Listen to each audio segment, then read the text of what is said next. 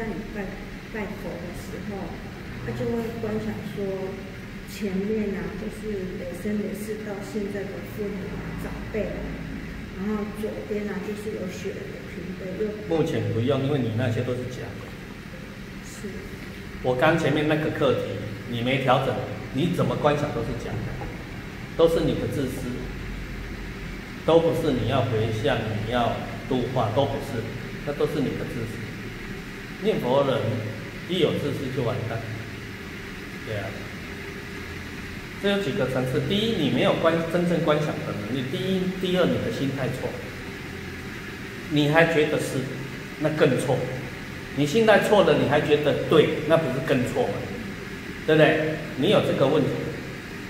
好、观想的那先不讲，对不对？你们认为想象就叫观想，我也无法无话可说，跟这里一样，对不对？观想不是这样子，对不对？好，那这个课题不容易，先搁一边。对，对你们来讲，你们理解都没有理解。那我刚第二个课题你们理解，对不对？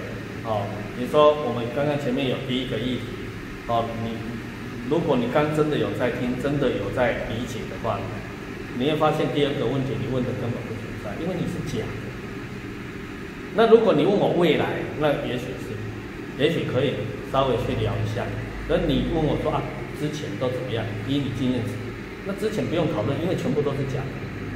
一级一切，一个人是这样，丢到哪里都是那样，对不对？不会一个人生活老爱撒谎什么什么，只要为自己，哦，为自己的面子问题，为自己的保护问题什么的，哦，在那边逼东逼西，一个实话都不愿意讲的，哦，跳到念佛的时候就非常非常完美，到位，非常厉害。你认同吗？如果你也摇头，那你你的问题就不用问，懂意思吗？哎先回去把第一个课题解决。是哦，不是说你后面的问题不能讲，我不能讲，不能讲，这个对你的个案没有用。哦，我们只是讲一些理论，对不对？讲一些分析给你知道而已，你还是做不到的、啊。呃，那让你观想出一万个你的冤亲债主，你也做做不到，不是你你认为你观想不出来，而是你观想出来要干什么呢？你认为的是我念佛回向给这些啊，对吧？哎呀，还是我念佛让他们都得度啊，对不对？你没你你第一个课题回来，你根本没有念佛。你说有啊，我很精勤啊，我每天多少时间啊，嘴巴念多少句啊，对不对？那你在这边学习那么久，你有没有去理解到念佛是什么意思？念佛不是嘴巴讲哎，不是每天有花那个时间在那边嘴巴发出阿弥陀佛、阿弥陀佛的声音呢？哦，啊，时间到没呢？合起来关机呢？那是念佛机，那不是念佛。所以你如果是个念佛机，你就不是念佛。你发出多少阿弥陀佛的声音，你都不是念佛，懂意思吗？哎，那关键在哪里？关键在你这个人里面的直性是什么？懂意思吗？哎，那为什么我直接直言说你没有，你常年来没有在念佛啊？你懂意思吗？哦，你要知道，我都是在讲实质面。如果你有在念佛，前面第一个课题就不存在。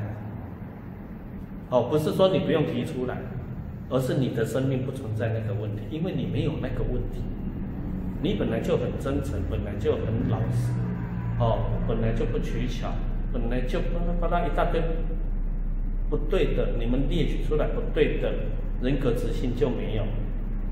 他，要列对的，巴拉巴拉一大堆对的，我都有符合，就这样子啊，你懂意思吗？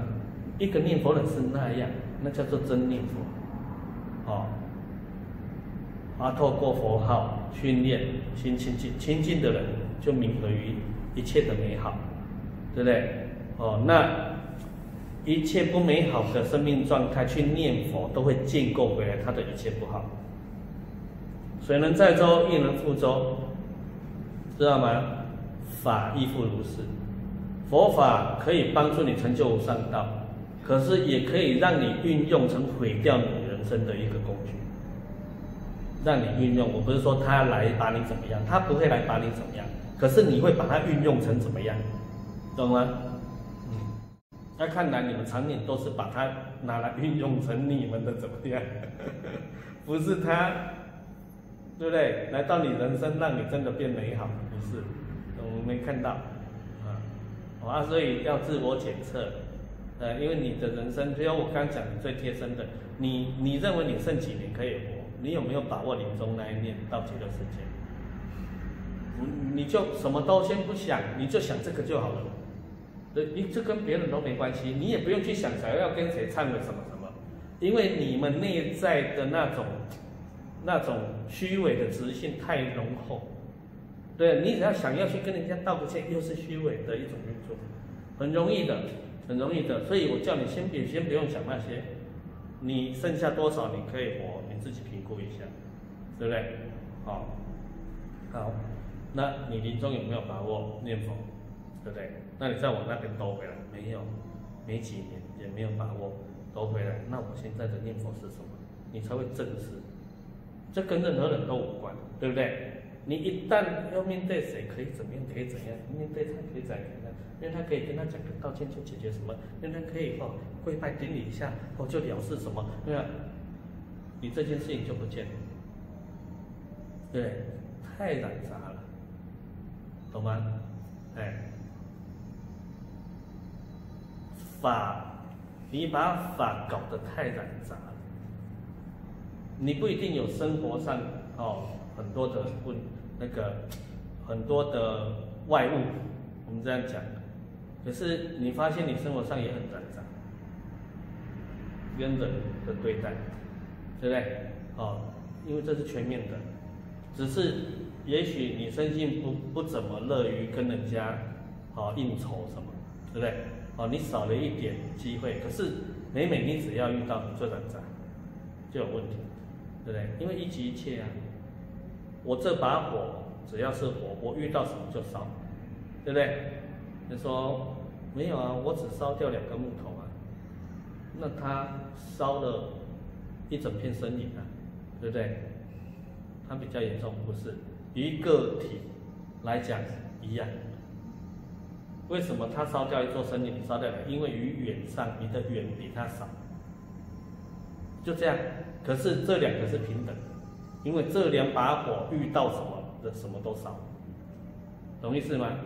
嗯所以我刚才用比喻，也许那一把火比较喜欢社交应酬，所以一个应酬两个应酬，整片森林烧了。这一把火比较避暑，对不对？他不用，可是他还是有跟他有缘的，的人事物啊，一碰就烧，懂吗？哎，这些课题很现实，你要先把它解决掉。修行人，我不是说你要正视它，你要解决掉它。不是正视他，正视他干嘛？嗯，正视问题啊！你还正视的不够久吗？你从小到大都在正视你的问题，不是吗？你如果没正视，你怎么懂得避？你就是太聪明，知道正视，所以你用的方法是错的，避，懂吗？B 就不能解决，所以你要听好我们的用词，要解决它。修行人就这么回事啊，就这么简单呐！啊，你不是修行人，就你要正视你的人生哦，哦，这样就会有希望。干嘛？我也知道这种师傅会很讨喜，偏偏我不是，对，懂意思吗？呃，因为我知道因果的可怕，所以我不会是那一种师傅。